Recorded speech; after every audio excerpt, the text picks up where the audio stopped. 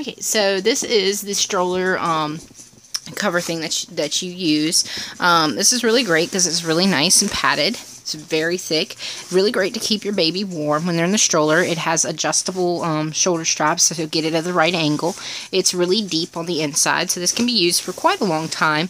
Um, really good quality. It has this nice um, water resistance out, uh, out, outer layer so that it helps prevent your child from getting wet if it starts to drizzle or rain.